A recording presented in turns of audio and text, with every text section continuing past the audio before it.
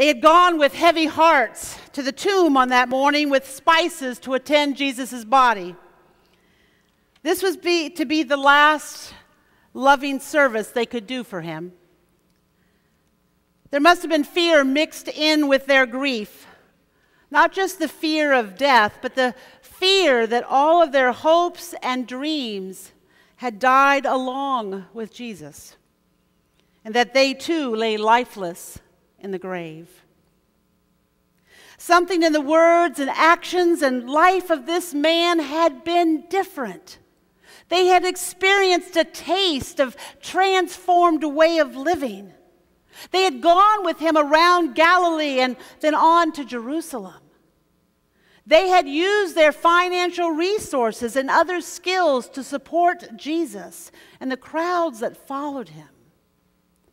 This man, who was redefining what they thought life could be, was now gone cut down by the powers and principalities of their world, how would they return to the life that was before him? You know, they stayed near through those most painful of hours, even after the men closest to him had fled, waiting and watching hoping against hope that something, someone was going to intercede. Oh, Jesus had talked about this being the outcome of his way of life. And unlike the men, these women seemed to get it. But now that it had happened, the women realized too that they hadn't really believed it would end this way but ever faithful, this morning they go to do what women always did anoint and care for the body of one deeply loved. They take that first step back into a life that was. And on the way, they wrestle with a really practical question. They, the men are gone, so who is going to roll away that massive stone? How would they be able to attend to the dead without anyone to help them? No doubt they're concocting solutions as they are walking and then are surprised when they reach the tomb and discover that the stone has already been pushed aside. The place that held their deepest love and their darkest fears, only to find nothing, no thing, no body. Jesus is not there. Instead, they discover a young man uh, dressed in a white robe sitting to one side, and they are frightened. But the young man speaks to him Do not be alarmed. You are looking for Jesus of Nazareth. He was crucified, he's been raised. He's not here.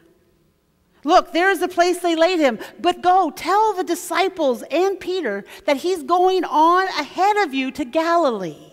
There you will see him, just as he told you.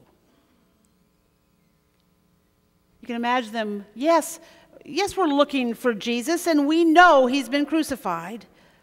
But wait, he's been raised? He's not here? He's gone on to Galilee? I mean, yes, he had said something about this, but really, really, could it be? And if that is true, well, what now?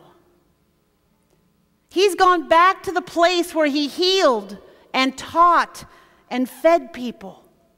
Gone back to where we first heard the whispers of a new life where we began to believe that we were beloved of God and that we had something to offer, a role to play in this kingdom of God that He talked about, this kingdom that He lived. And suddenly a whole new fear gripped them. This new life really, really was actually real. This kingdom of God that Jesus talked about was really here. And that risen one wants us to meet him back in Galilee to go on living it. like he said. The sudden enormity, enormity of it hit him. They didn't have to go back to living the way it was. They could continue to share in the kingdom of God. They could live in community of equity and dignity. They could serve and be served.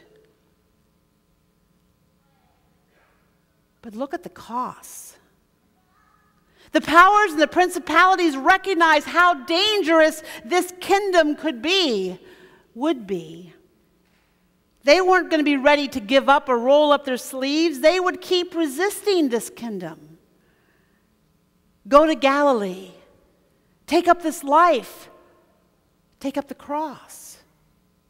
Oh, that's, that's what he meant. Well, now they're to go tell the disciples, the rest of the disciples about this. And the women received the good news that Christ had been raised from the dead, and now they needed to change. They needed to change from people who perform rites for the dead to apostles who bear witness to the God of life and love, of justice and truth. They needed to change from people who are fearful and frightened to people who boldly proclaim that God's life is stronger than any death, that God's love is stronger than any hate, and that God's peace is more powerful than human violence. To proclaim that, to live that, is to experience resurrection. It is to become, in fact, resurrection people in a Good Friday world. Could it be? So they went out and they fled. They fled from the tomb, for terror and amazement had seized them, and they said nothing to anyone, for they were afraid.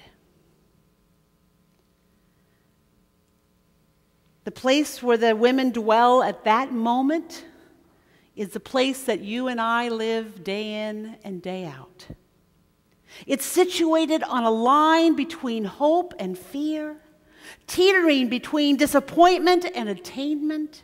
It's wondering if we're fools to hope for a world that's reliable and just, and to work for lives that are meaningful and rich and full.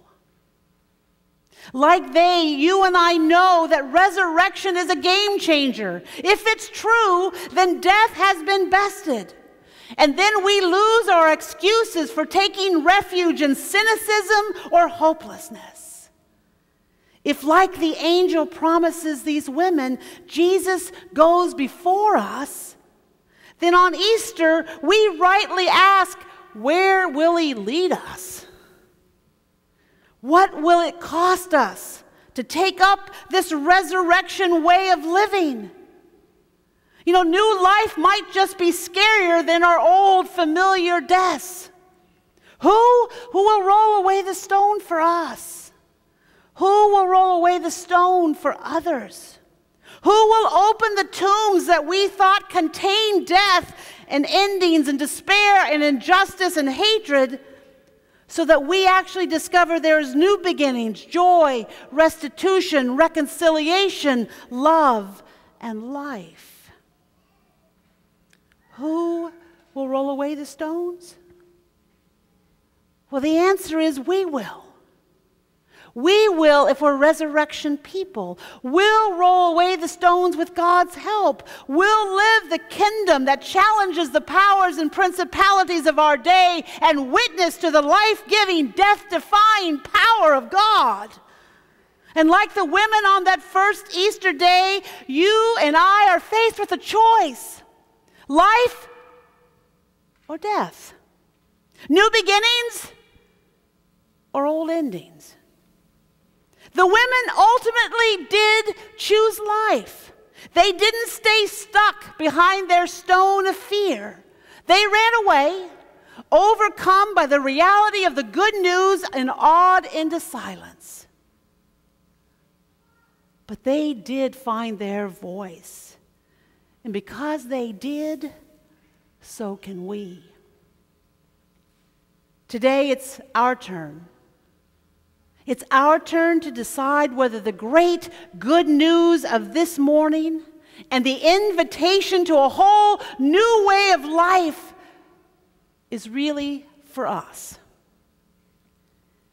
It's our turn to keep on living life as it is or to choose to live in this kingdom life of God, made manifest through the risen one, leads us and goes before us.